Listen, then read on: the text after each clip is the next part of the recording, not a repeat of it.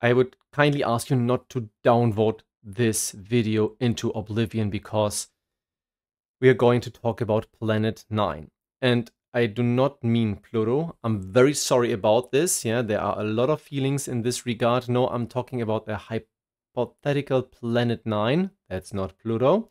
Based on certain observations and why astronomers think that there is some kind of supersized Earth somewhere out there doing gravitational chaos in the solar system.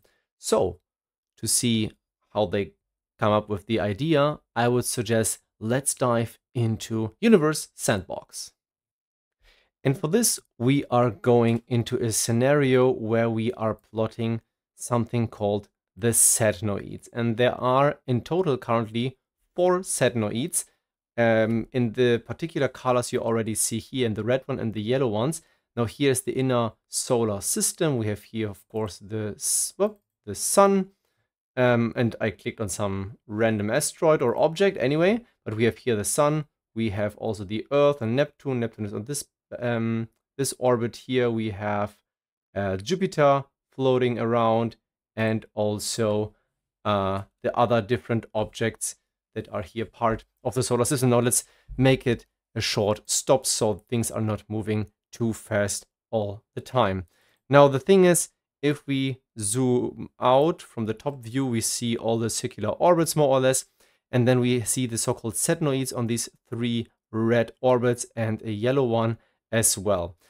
So what are the names of these objects? Now I have my small cheat sheet here because um, I cannot remember all of these things, although it's not very, these are not a lot of objects. But the first one is of course Sedna. We don't have to search for it. Sedna is here currently. We see the orbit and also some kind of um, calculations that Universe Sandbox is doing in some preliminary steps. So we have here the object Sedna on the one hand. Then we have the other object called 2012 VP 113, which is this object here, also on this red orbit as well. And then we have another one with a very difficult name to pronounce. So I'm, I apologize for anybody who knows how to do it, but I don't. It's 541132 Leleakuhonua. Yeah, it's complicated. And this comes from a German guy, right? Complicated words. Anyway, these are the three sednoids. And let's take a look at these three red orbits. What do we see here?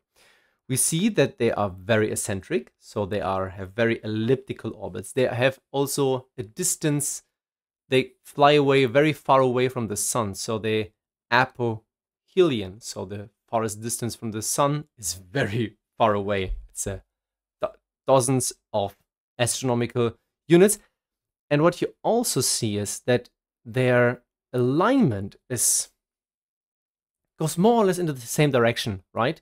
So what is another orbital element that defines these orbits? It's the argument of perihelion. It's like an angle between a reference uh, a reference vector and the vector, so the, the, the arrow that points from the sun to the closest point of an orbit.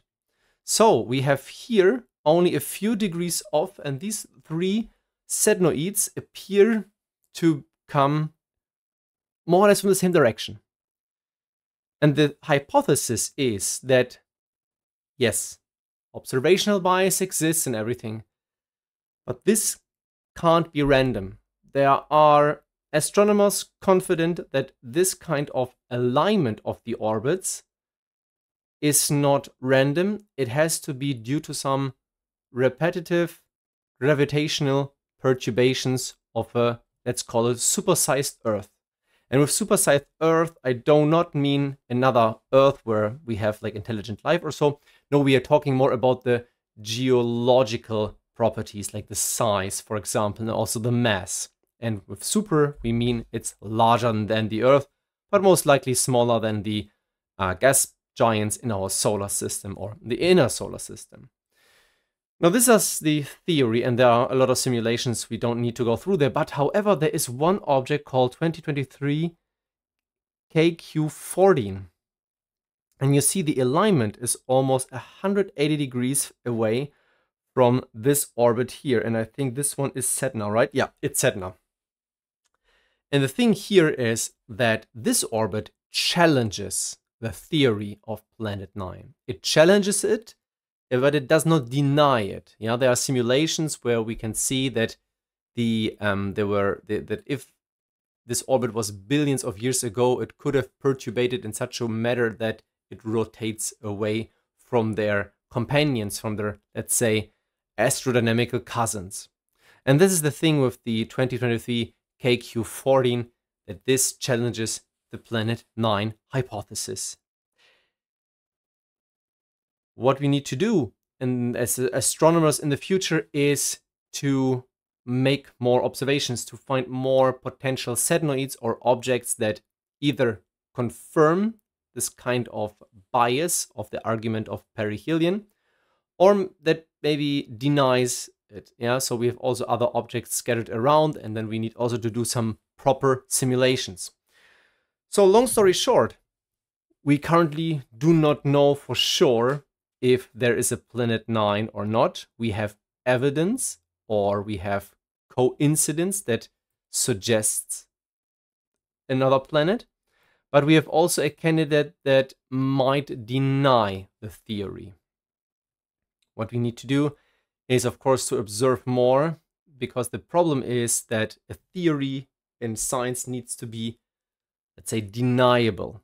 And the question is, how can you deny an object when the cosmos is so vast? It's challenging, but it's unfortunately not our task to answer it. We will just wait what will happen in the future. I hope you learned something today about the outer solar system. And until next time, thanks for watching.